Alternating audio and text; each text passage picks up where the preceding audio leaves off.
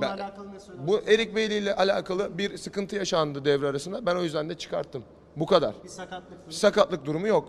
Tamamen yakışıksız bir hareketten dolayı Erik Beyli'yi oyundan aldım. Var mı daha net konuşalım? Daha var mı net sorunuz?